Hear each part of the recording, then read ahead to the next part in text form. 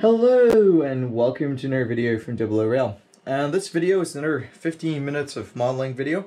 And uh, today is Sunday, November 17th, uh, 2019. And uh, what we're doing today is we're going to go and fix uh, this uh, solder joint on this uh, set of points. Now, I soldered these fish plates in place because this was one of two track problems I had with this curve. And this fish plate was you know, part of the issue. So I went and uh, was a little bullheaded uh, with the soldering. And so um, one of the problems that I have is depending on the bit of rolling stock, when it goes over this, so this one's okay, but some of them will hit um, these solder joints um, either usually with the inside of the flange and so what will happen is if I put any kind of pressure on that it's going to hit it so anything with slightly deeper flanges or any kind of weight is going to clip that and it doesn't doesn't derail anything, but it makes an annoying noise, and I, sometimes I see some stuff um, rise up off the track a little bit, uh, so it annoys me. So I'm going to go ahead and, and fix this. Um, I also have a small wall project um, that I'll introduce you to in a moment, and um, you'll see what's going on there as well.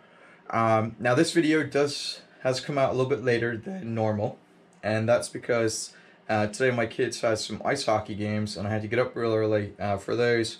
So there's no real time uh, to do uh, any modeling today until uh, later in the evening and obviously with the time zones difference with the UK, uh, you may not see this until until Monday.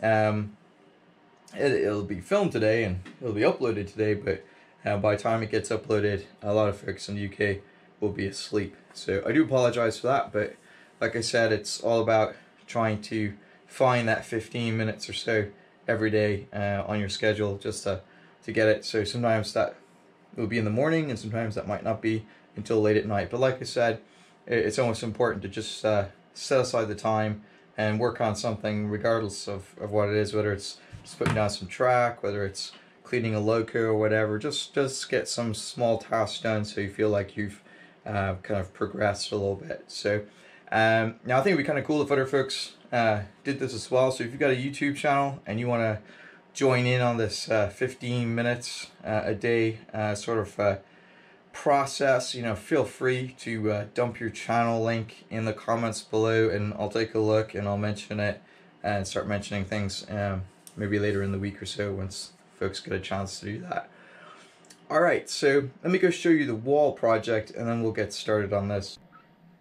Okay, so we're over at the uh, part of the layout that's called Brewery Road, and uh, if you you've probably seen this uh, the layout before, it used to have a um, sort of uh, Metcalfe um, brewery building that was here. I've decided to do away with that. It, this also had the 1930s, uh, 1950s um, low relief factory from Scale Model Sceneries. Unfortunately. Um, Scale Model Scenery's uh, low relief factory got a little bent. I think the way it was designed, um, there wasn't enough supports in the center of it. So over the last couple of years, it kind of bowed uh, due to the, the temperatures going up and down here. And we don't, we have a pretty good temperature swing, um, but it doesn't really get that humid down here. So I'm not quite sure why it bowed. I just think where it was glued in place, it sort of just didn't really have enough uh, support in the center of the building. So you could easily fix that. Uh, I decided just to do away with it and uh, to do something different. So um, you can see here too, I pulled out some of the um, uh, some of the walling. Um, there's there used to be um, some printed uh, scratch built walls that I did using uh, scale scenes uh, brickwork. Now I'm still going to use the scale scenes brickwork, but I'm going to use it on um, 3D printed uh, material. So I'm going to print out the uh, the texture sheets and then glue them to the 3D printed um, wall rather than uh, trying to scratch build a wall of card. it had the same kind of similar problems. It just wasn't thick enough and wasn't um, supported enough. Uh, so it kind of bowed over time. So uh, the other thing I have here, this is a tree that I scratch built. Uh, just some woodland scenics foliage. And then we have an actual tree branch. It's like a twig I found out in the yard. I cut it and glued it to make it uh, more tree-like and then uh, attached the uh, foliage to it.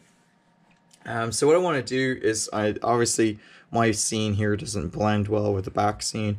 Uh, so I got this low relief house over here, and we got the the sort of um, wooden uh, fencing here. And so what I want to do is uh, put something in the background here uh, to sort of mask uh, the difference uh, between the two. It's too close to basically blend that scene in.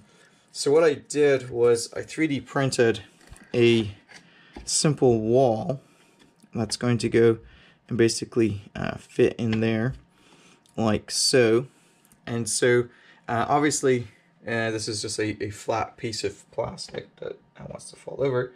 Um, so what we're going to do is we're going to paint the top part here and then we're going to uh, cut out and uh, glue uh, the bottom part to it. Now I think I'll I might try to just cut and glue uh, the wall straight to it and then be very careful about painting the top part. And um, assuming that works and I can dry it then the and it dries um, I'm gonna basically stick this in place. And then the idea is I've got these little trees uh, that I got as part of a, a kit. I think it's a, a Finnish company maybe um, that does it. Um, but they look pretty decent. So I think what I can do is sort of stand them up like this in the scene. Obviously I'm gonna have to glue them in but uh, basically get them to stand in the scene like that and it'll look like you know the trees are kind of growing up as behind in front of the wall and so on and we can uh, maybe add a little bit of uh, woodland scenic stuff to them to make them a little less um, fake looking. Um, but they're not too bad. They come in various different sizes and I think injecting into the foliage like this um, they'll make a pretty good uh, scene scenic break with that. Alright so what I'm gonna do is we're gonna go uh, solder that track and, and fix that problem and then we're gonna go and uh, glue the paper to the wall and uh, the texture sheet to the wall and we'll go in and paint the wall and then we'll we'll be done for the day. And then um, later in the week we'll finish the scene by adding these trees to it alright let's get working on that Alright, so hopefully uh, you guys are going to enjoy the wall project as well. So um, I've got a soldering iron that's uh, part connected to my uh, or SMT station below. And uh, the cool thing is, is uh, this particular joint just happens to be within a couple of feet of where the soldering iron system is actually set up. Uh, so I don't have to go and drag extension cords or figure out a way to get it. here, it's already here. So um, also wanted to dedicate this video uh, to uh, Dave over at Cottesmore. Uh, I'm going to show you, Dave, uh, how not to use a soldering iron like a branding iron.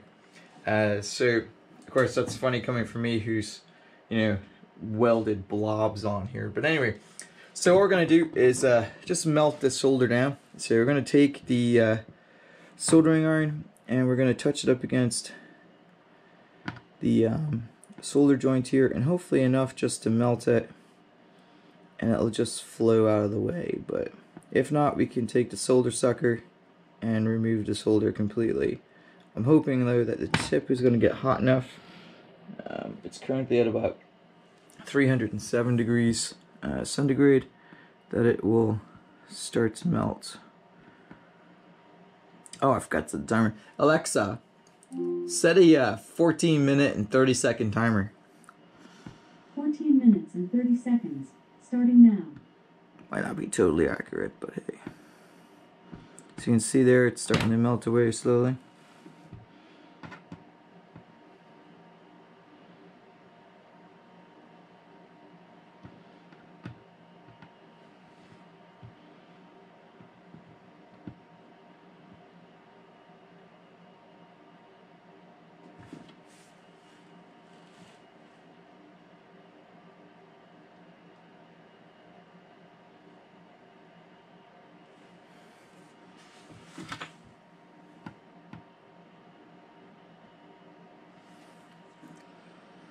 I don't think the other joints are causing any problems.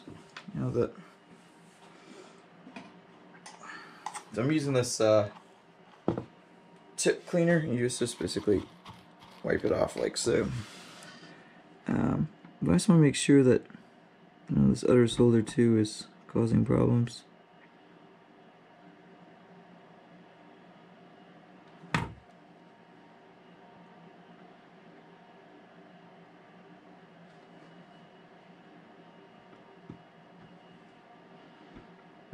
See it's now starting to liquefy and we can just get it away from the rail completely.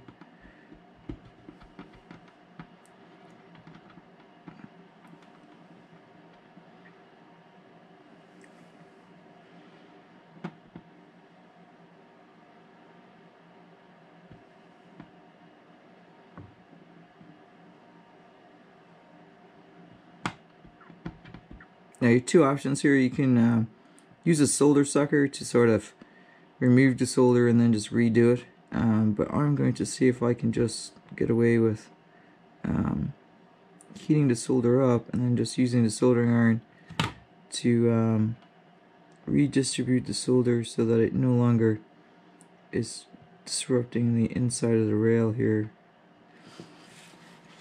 Now I know this piece here is causing me problems. I'm probably going to have to get the solder sucker, but we'll see.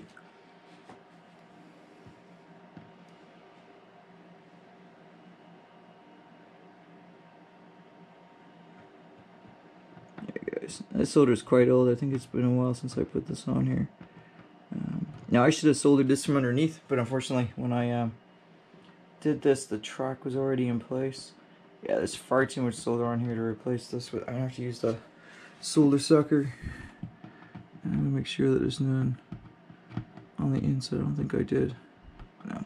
So it looks like it's just this piece here that's going to cause us problems and this piece here. So I'm going to go get the solder sucker and uh, just remove it and then uh, redo it. Okay, I have found the solder sucker and I have paused the timer. So Alexa, how much time is left on the timer? You have 11 minutes left on your 14 minutes and 30 seconds timer, but it's currently paused. Alexa, resume timer. Timer resumed with about 11 minutes left. Okay, so we're gonna heat this up.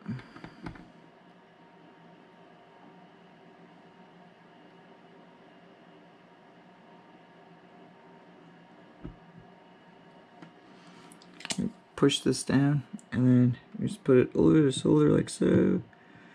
And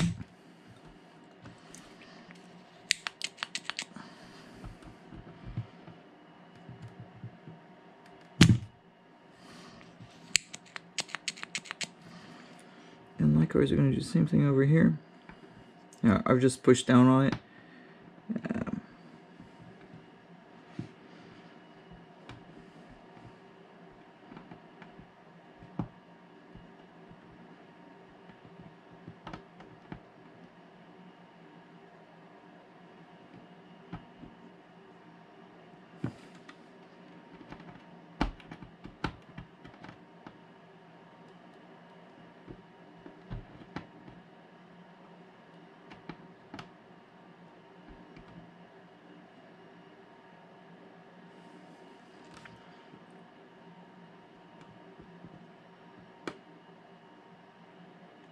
Wait for it to liquefy.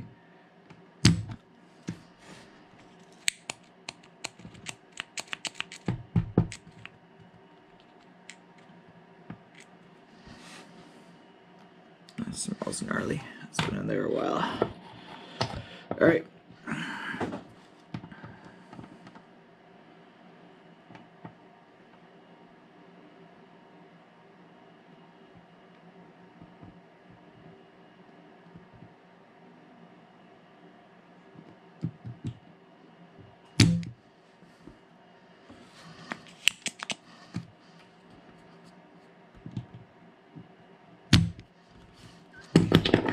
Oopsie.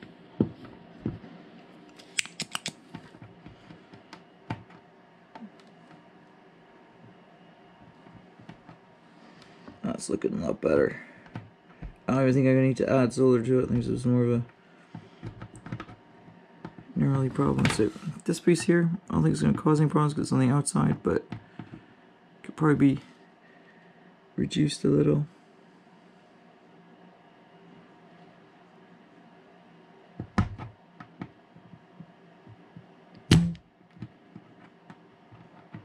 There you go.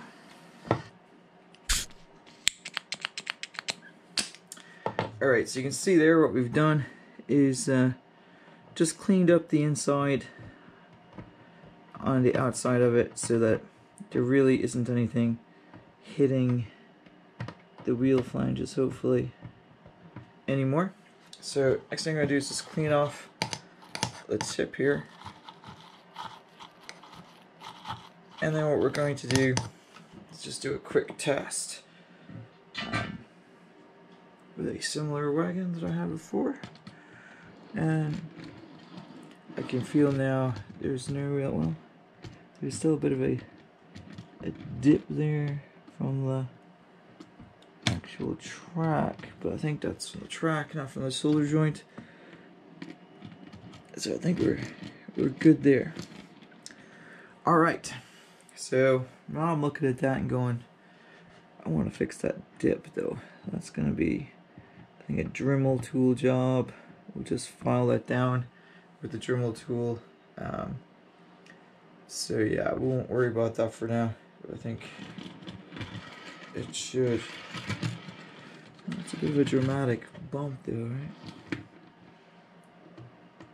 That's what part of the problem. Alright, so we'll we'll fix that in an upcoming video, I think with the with the Dremel tool. But for now I'm going to uh, head back to the wall and we'll we'll do some Timer resumed with about 6 minutes and 50 seconds left. Alright, so we got about 6 minutes and 50 seconds uh, to take care of this. So as I saw, showed you earlier, um, basically what we're going to do is, this is a 3D printed wall, it's pretty simple. It's got a little slightly um, inclined uh, top to it.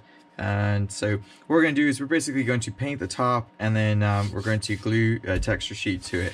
So the texture sheet we're using is from uh, Scale Scenes uh, and these guys have fantastic textures.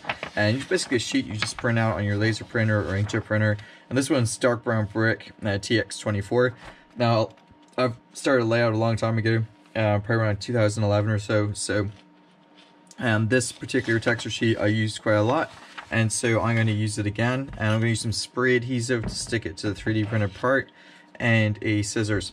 So first up, we're going to go and just uh, simply cut it out and so I don't need uh, this part of the texture so I'm just going to use that as a guide uh, to cut it out. Now I probably wouldn't do it this way if I wasn't trying to do it in 15 minutes.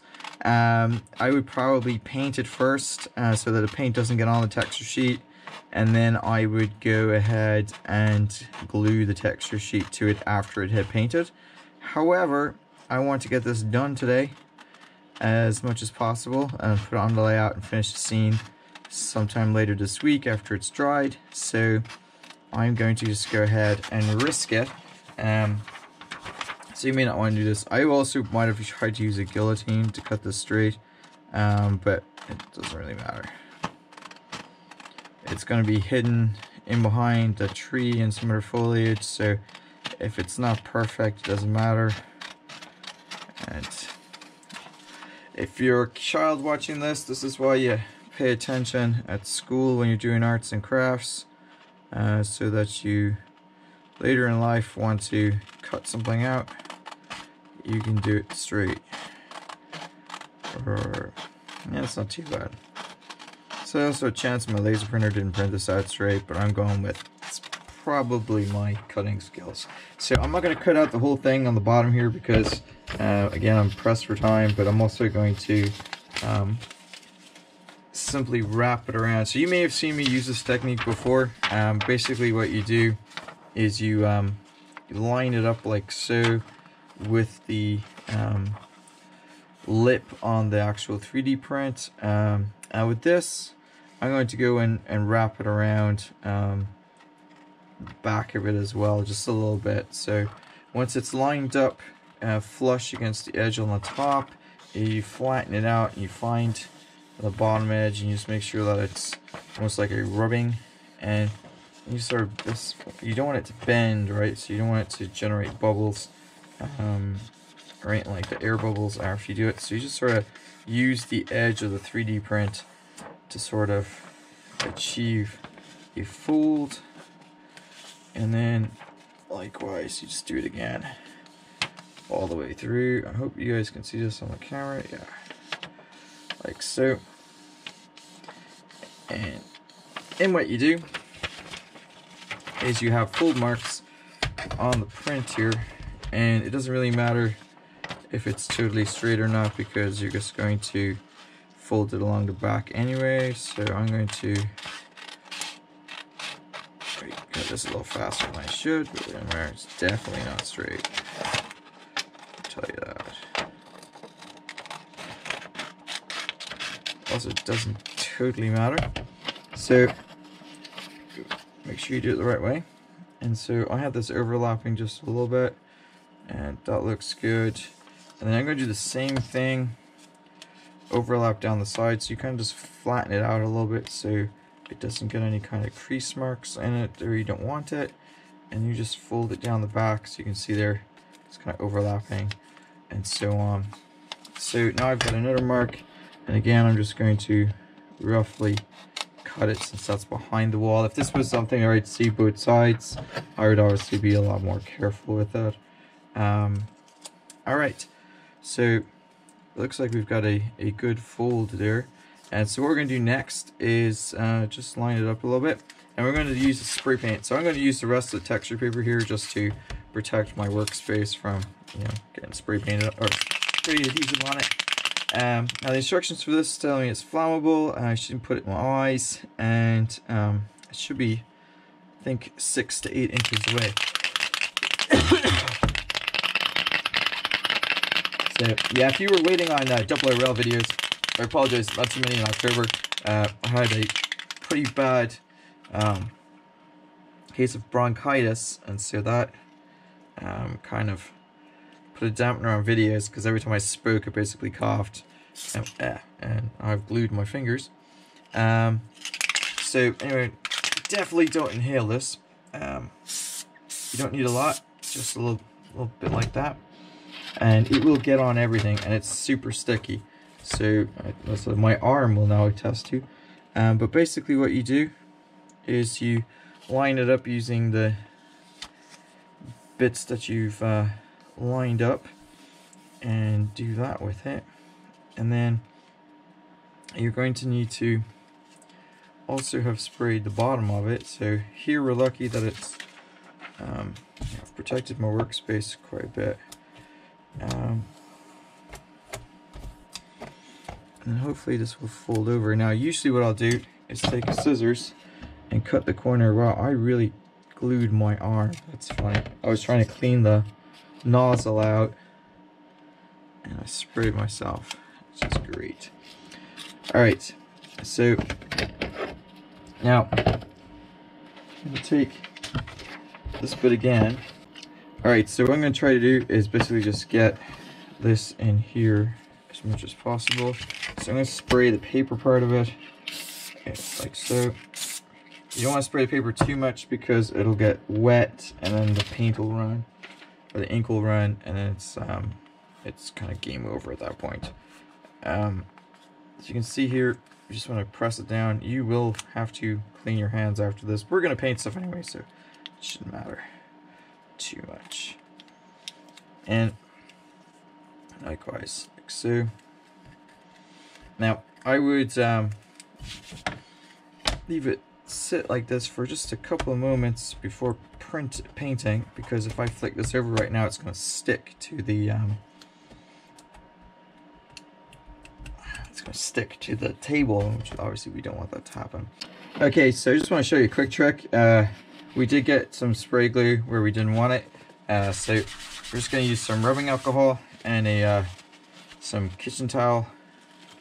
And you can use as long as this is PLA or PETG you should be able to use um, rubbing alcohol on the 3D printed part so it won't be a problem. Um, I've got another uh, disposable paintbrush and we're using aged concrete from uh, Model Master uh, you can use something from you know um, Railmatch or from um, you know Humbrol or something like that um, I'm using this because it's worked really well for me um, for a couple of different projects, including uh, several Rally projects. Um, so I think it'll work out pretty well. Um, so one thing I've got to be really careful of is make sure I don't get it on the um, brickwork because then it'll just kind of look a bit funny. And if I do get it on the brickwork, um, I will be able to possibly uh, use some weathering powders or something like that to uh, mask it. Uh, now, it's interesting, the spray adhesive has created a bit of a weird texture on this, uh, so I think it's going to actually add uh, to the kind of concrete look uh, once it's done. I don't need to paint both sides, but I am going to paint um, as much of it as possible, uh, just so that if I get some weird angle or something like that when I'm filming um, later, uh, it won't look bad. Now I've already got a little bit on the paper, which is, like I said, one of the reasons why I probably wouldn't have done it this way. Um, I'm not going to try to wipe it off, because I think if I wipe it off, it's going to make it worse. Uh, so I think some weathering powders, or maybe even uh, some foliage or something like that in an upcoming video um, will make it a lot easier. So uh, tomorrow I'm going to be working on uh, the track project again. I want to get that finished if possible um, because I really need to get the layout um, back up and running so I can do some other videos. Uh, we also have the um, Christmas uh, advent calendar videos coming up. We do those every year and I think a lot of people like those so those are coming up and this time I'm actually print I'm actually doing those advent calendar videos in November rather than trying to do them the same day uh, which you know life gets in the way and then uh, they get delayed or something like that so uh, this year they're going to be out and scheduled um, probably before December 1st. Um, so they'll pop up every day, um, probably around 7 o'clock in the morning uh, UK time, I think is what I'll aim for. Alright, so that's the Alexa timer beeping on me, so my 15 minutes are up. Um, now I've edited... Alexa, cancel timer. I've edited some of these videos. Um, this week, uh, the first two, and then um, and I'll, I'll, probably continue to edit the videos so that um, it's you know a little bit interesting. So um, you may find some of the videos with the intro at the start are not 15 minutes. It just means that there's basically been 15 minutes of modeling, not that the video length is going to be 15 minutes. Uh, I just want to make that clear. A couple of people had asked me about that yesterday. Um, but yeah, so basically the idea is that the modeling time in the video, my modeling time, is uh, going to be 15 minutes or so. And you know, if I go two minutes over or if I have to pause the timer or something because I forgot where I did with the Dremel tool, um, you know, it, it's going to happen. It's not going to be exact. Uh, the idea with this uh, series of videos is to basically show you guys um, what I've been doing, uh, make me uh, sort of do some kind of modeling project, and that's not like 3D printing related um, as I'm printing, painting a 3D printing project. But you know, just sort of uh, to encourage myself to go in and get some of the layout finished. So I'm going to um, set this aside. Um, I've got this little 3D printed um, holder there so it can dry, and um, I'll continue this part of the project in a few days uh, when the track project is finished. All right, well, I'm to go clean up and uh, to get the rest of that adhesive off my arm and uh, hopefully you guys enjoyed the video. Until next time.